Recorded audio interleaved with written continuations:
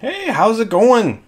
For this video, we're going to work on finding the signs of different trigonometric functions using a wonderful, neat little tool uh, that I picked up when I was in school. All right, so you may have seen this before, maybe not, but this is actually a great way that you can easily memorize uh, whether something like sine or cosine should be positive or negative. That's what I mean by the signs of the trigonometric functions.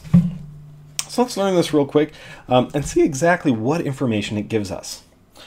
So when you're doing different uh, trigonometric functions like sine of 23 degrees, uh, you get a number and the idea is, is this thing going to be positive or negative?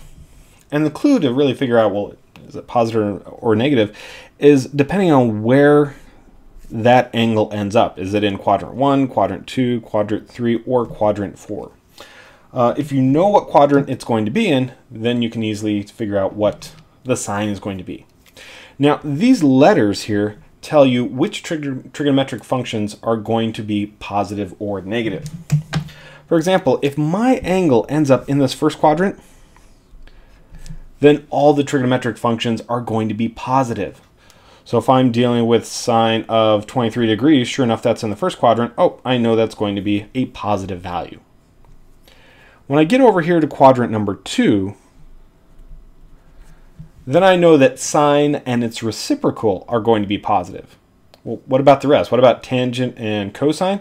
Those will be negative. So these are telling me what values or what trigonometric functions are going to be positive. So sine and its reciprocal, which you know what, we'll go ahead and write out. Uh, cosecant will also be the other positive one. All right, moving on. Who's going to be positive in the third quadrant? Well, t, we only have one trigonometric function that starts with t. That's our tangent. And if you want to rem remember, cotangent is the other one. So tangent and its reciprocal. And in the last one, uh, who gets to be positive over here? Cosine and its reciprocal function secant.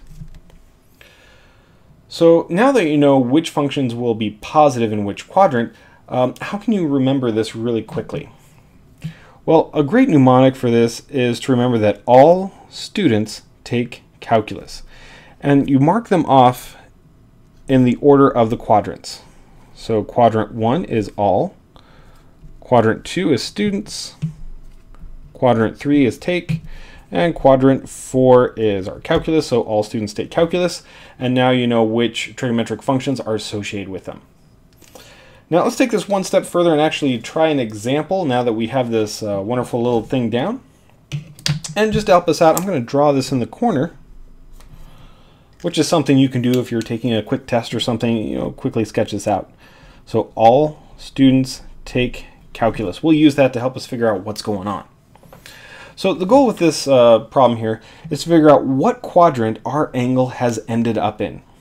And the only thing we know is a little bit about the sign of the functions. So I know that uh, if I plug my angle into sine, it's negative, and if I plug my angle into tangent, it turns out to be positive. So where did that angle go? Well, if I know that sine is negative, then I immediately can rule out the first and second quadrant because in the first quadrant, everyone's positive, and in the second quadrant, uh, sine is positive. And I specifically know it's negative, so it's got to be on this lower half here. I'm going to shade that in. So, so far our angle has to be down here somewhere. Now, the next bit of information is that tangent is positive. So let's see, where's tangent positive? Well, positive in the first quadrant, and it's positive in the third quadrant. So two bits, so it could be here, or it could be down here. Now there's only one quadrant where both of these things are happening, and sure enough, that is quadrant number three. So what quadrant is my angle in? I can say theta is in quadrant 3. So this really gives you information or a little hint about that angle. Let's do it again. So this time cosine is negative and cosecant is positive. So co cosine is negative. Uh, so that rules out those two. I need where it's negative. So I know that it has to be over on this side, somewhere over here, so that cosine is negative. Uh, cosecant greater than 0. Now I have to be careful. This is, stands for uh, all trigonometric functions, sine, tangent, and cosine. Uh, where's, where's cosecant? Is cosecant up here? You also have to remember that these apply to their reciprocal identities. So cosecant is the reciprocal of sine. So cosecant of the angle is equal to 1 over sine of the angle. So I'm going to use, so it has to have the same sign as sine of the angle. So where is sine positive? Sine is positive up on the upper half here. So let's shade in the upper half. All right, now just like before, there's only one place where both of these conditions happen simultaneously.